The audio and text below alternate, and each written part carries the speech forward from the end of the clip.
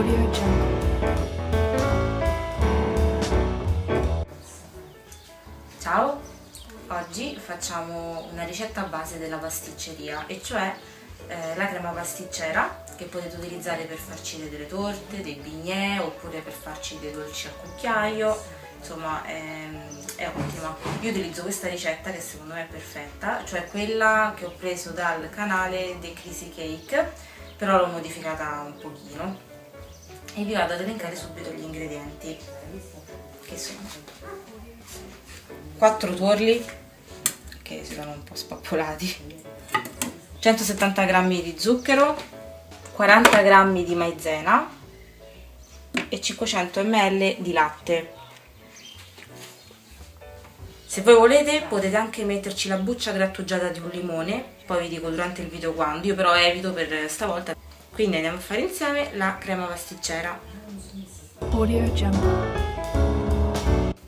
Allora, per, per prima cosa andiamo ad unire ehm, alle uova, cioè ai tuorli, lo zucchero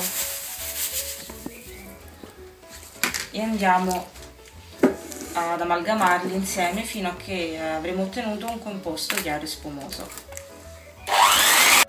ok abbiamo ottenuto praticamente lo zabaione ah se voi la volete al limone ehm, dovete amalgamare uova eh, torli, zucchero e anche la buccia. In questo caso come vi ho detto non l'ho messa. Ora dovete eh, setacciarci dentro la maizena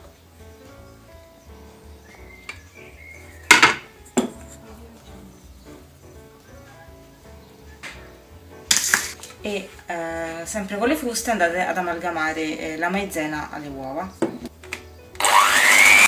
Ora abbiamo ottenuto questo e eh, andiamo ad aggiungere un po' alla volta il latte. Adesso vi faccio vedere.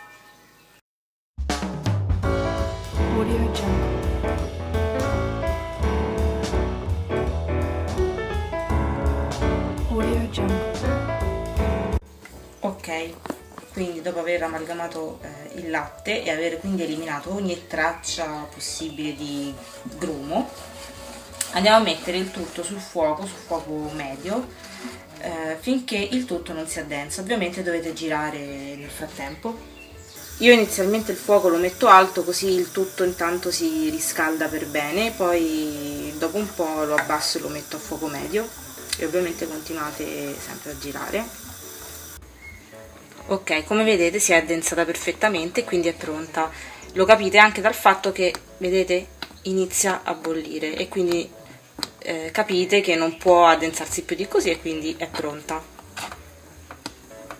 Adesso eh, se volete la mettete a bagnomaria in acqua fredda eh, per farla freddare più velocemente e la girate ogni tanto oppure la lasciate a temperatura ambiente sempre girandola ogni tanto e quando sia un po' intepidita ci mettete sopra una mm, pellicola trasparente sempre a contatto con la crema perfettamente almeno non si forma la pellicina fastidiosa sopra la crema e poi la mettete in frigo per usarla quando volete. Spero che la ricetta vi sia piaciuta.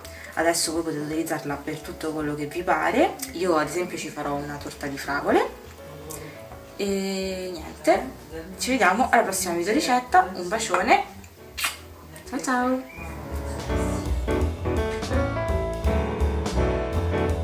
Audio Jungle.